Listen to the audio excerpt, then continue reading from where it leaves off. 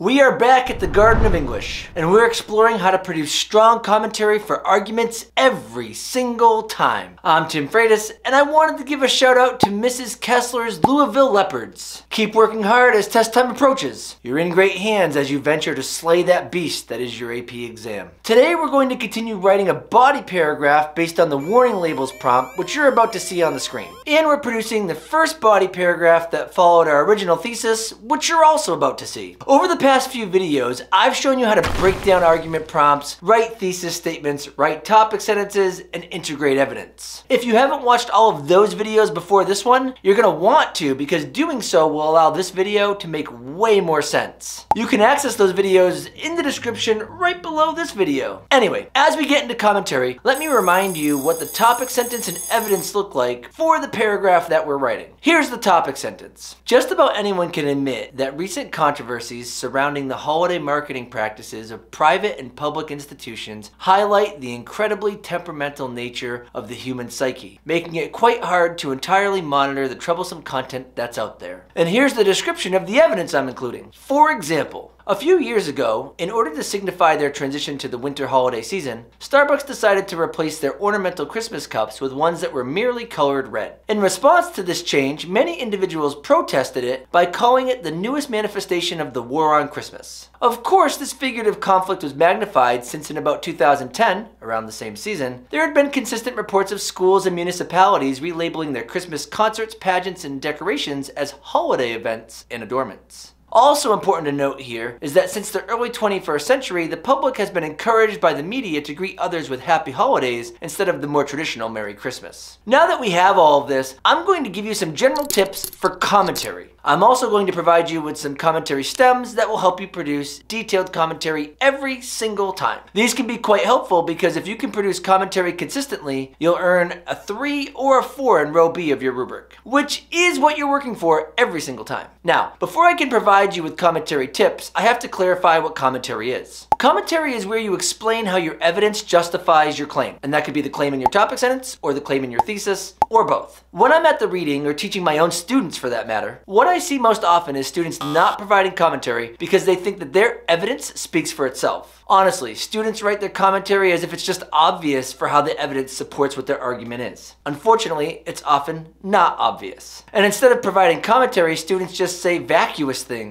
like, this evidence proves my argument, or this evidence shows my argument is true. Or many students even write, so obviously this supports how my argument is true. What's so obvious about it? Well, the truth is, folks, that your evidence doesn't innately or obviously prove your claim. So you have to articulate the connection. And if the examples that I just gave of the this shows or this proves or the this obviously supports sounds like something that you do pretty often, know that there's something quick and easy that you can do to begin developing better commentary right away. And that is, at the end of any sentence that you ever say, this evidence proves the argument, just put the word because. The number one thing that any student can do to better his or her commentary is to make sure to add the word because into the first sentence that follows the evidence that shows up in the paragraph. Just taking this step has the potential to raise a score from a 2 to a 3 in that row B, and it can even help drive you towards scoring a 4 in row B. Now, what I want to do is I want to give you my quick tips to help you develop your commentary better. Then we're going to actually check them out in action in relation to the Starbucks paragraph.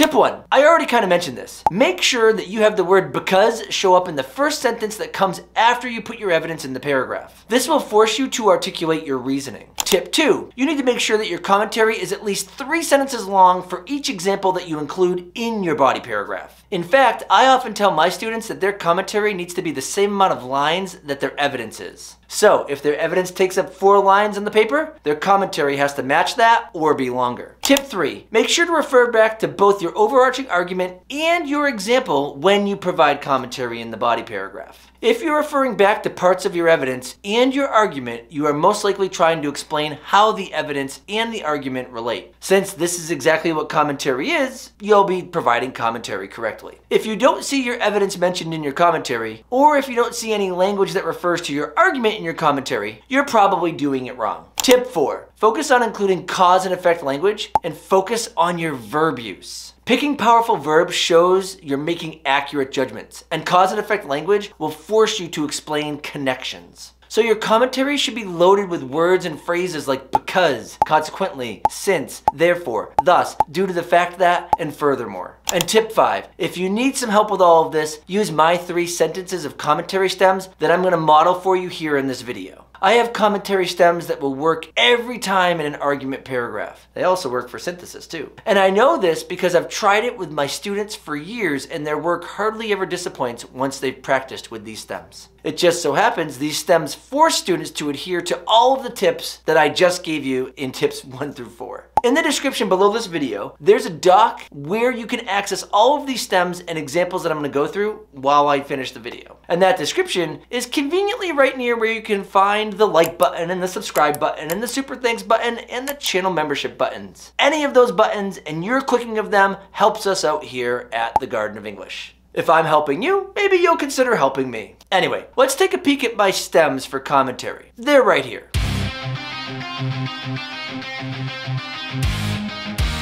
If you were to really look at those stems, you'll notice that the first sentence of those commentary stems requires you to add both the claim of the topic sentence and the word because. Sentence 2 requires you to consider a consequence of your consideration in sentence 1.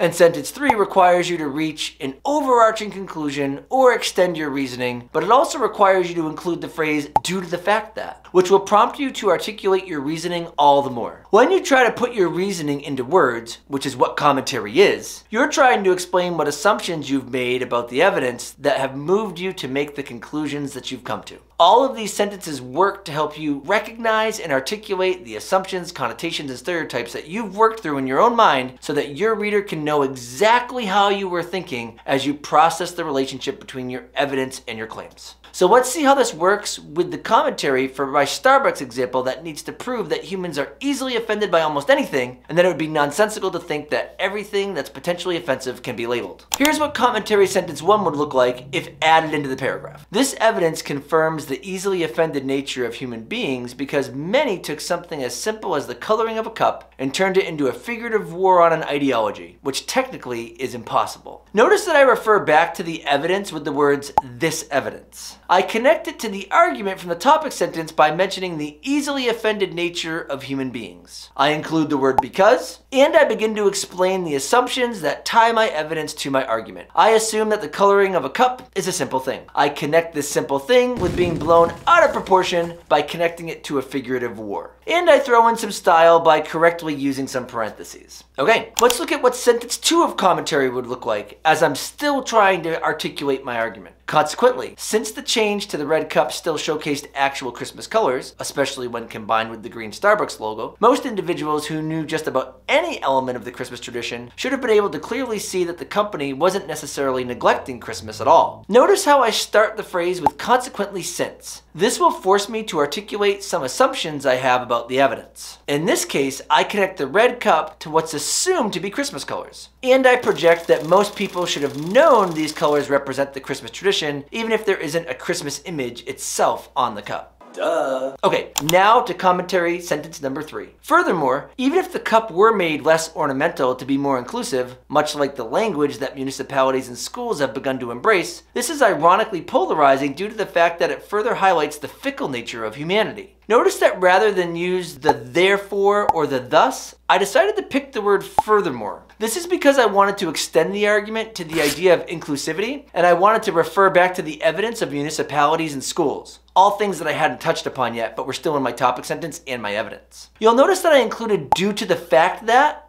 and I connect my reasoning to further highlighting my main argument, the fickle nature of humanity. Now, I did personally choose to add a fourth sentence of commentary, and I want you to check it out. Thus, the silliness of this controversy further promotes the point that trying to anticipate, let alone label, what may offend others is quite a murky science because offense can be quite an unreasonable free-for-all for any individual. Now, multiply the opportunity for individual offense by 7 billion individuals that make up the global population, and pandering to each person's qualms as to not upset another person becomes irrationally impossible. You'll notice that even though I don't have a stem for a fourth sentence of commentary, I did begin it with an unused word from my final sentence stem. I began with the word thus. This will force me to articulate a logical conclusion based on all that I've said before. I also included the other argument from my topic sentence that it will be impossible to label what offends everybody. I put the word because in this sentence and I explained the assumptions that labeling everything that could offend 7 billion people individually would be irrational. If you want to extend your commentary past those three sentences, you can do just what I did. You just need to make sure that you continue to use those strong commentary words like because, since, consequently, thus, and so forth. And really, at the end of the day, folks, providing commentary is doing exactly what I just showed you. Now you can find a sheet linked in the description right down below that will give you all the templates and examples that you see in this video, and you can practice it for yourself. Now, with strong commentary, you are well on your way to earning a 5 on your AP Lang exam, but you haven't done it yet. You need to keep working hard. And I highly recommend that you consider practicing some more with my comprehensive exam review guide that offers you 180 practice multiple choice questions, two practice exams, exclusive videos and note guides that go with all of those videos and my YouTube videos as well. You can access this review guide right in the description. You can even sign up for free and get all of Unit 1. And after you pick up that review guide, then you're gonna need to go hang out with my friend Crystal Liberty as she explains how you should add personal examples into your arguments. She does so in this video right here. Focus on, on ugh. All right, that's like the first mess up today. I'm okay with that. How do I mess that up? Train, we get a train. And moved you to the conclusion, uh, uh no, that one, no, didn't, no. That labeling everything that could affect, ah, oh, you gotta be kidding me. No, no, no, no, no. No more buzzing.